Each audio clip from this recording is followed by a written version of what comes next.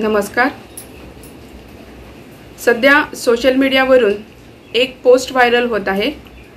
की आरपोरा येथील ड्रंकन हाटमध्ये सुफी नाईट या इव्हेंटचं आयोजन करण्यात आलेलं आहे आणि या पोस्टवर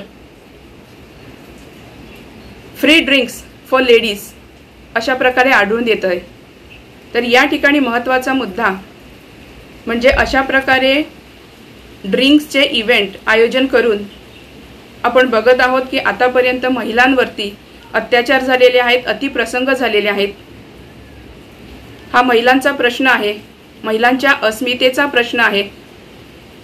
दुसरा भाग की गोवा ही संतांची भूमी आहे परशुरामाची भूमी आहे परंतु ह्या गोव्यामध्ये ड्रग्ज व्यवहार मोठ्या प्रमाणात सुरू आहे.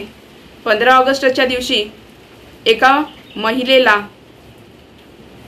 ड्रग्ज ड्रग्सच्या निमित्ताने असं अटक करण्यात आलेलं आहे. अजून या ठिकाणी प्रश्न आढळतो की सध्या कोरोनासारखं पॅन्डेमिक इयर असताना अशा प्रकारचे विशेष इव्हेंट आयोजन करून ह्या आयोजकांना काय साध्य करायचं आहे? की आतापर्यंत कोरोनासारख्या संकटामुळे अनेकांचा बळी जात आहे. मग ह्या इव्हेंटच्या माध्यमातून हे संकट अजून वाढणार नाही का? हा पण या ठिकाणी प्रश्न आहे. गोवा ही संतांची भूमी आहे परशुरामाची भूमी आहे.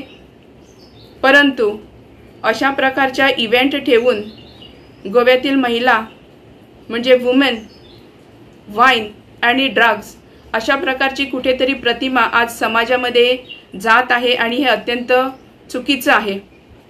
अशा प्रकारच्या इव्हेंटवर बंदी घालण्यात यावी अशी मी या ठिकाणी महिला शाखेच्या वतीने रणरागिणी शाखेच्या वतीने मागणी करत आहे की या इव्हेंटवर बंदी घालण्यात यावी आणि आयोजकावर कारवाई करण्यात यावी.